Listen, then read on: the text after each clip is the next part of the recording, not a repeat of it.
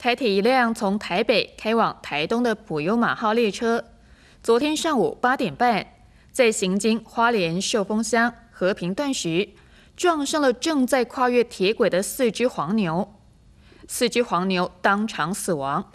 普悠马号列车的车头也毁损，所幸没有人员受伤。而整起意外也影响了花东线铁路两个列次自强号列车。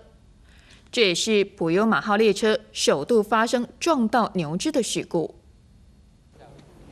来到火车撞死牛的现场，普悠马号列车因为没有安全顾虑，已经离开前往台东。现场剩下四只大黄牛已经死亡，躺在铁路旁，其中一只还怀孕。透过当时乘客所拍下的照片，更是血肉模糊。不难想象火车撞击的刹那力道有多大。已经减速了，减到就是没办法停下来，撞击非常巨大。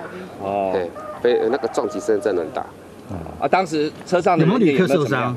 都，呃，人员后面坐后面我不清楚，而我们车头撞到的时候，我们就从车头下来查看现场。这起火车撞死牛的意外是发生在四号上午八点半，一辆编号四零二次从台北开往台东的普悠马号列车，在行经花莲寿丰乡平和路段时，铁轨上竟然有四只大黄牛，火车司机员紧急刹车，但还是撞击上牛群，现场牛只全部死亡，也影响了两个列次的自强号列车。他在现场停了二十九分。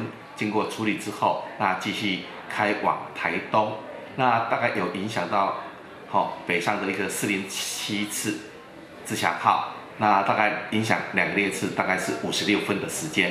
台铁表示，这还是普悠马号列车第一次撞击到牛只的意外事件，提醒民众，火车电气化后声音小、速度快，千万别在铁轨附近饲养家畜，要是造成危险，依法可追诉刑责和相关赔偿。记者孟家凯，花莲报道。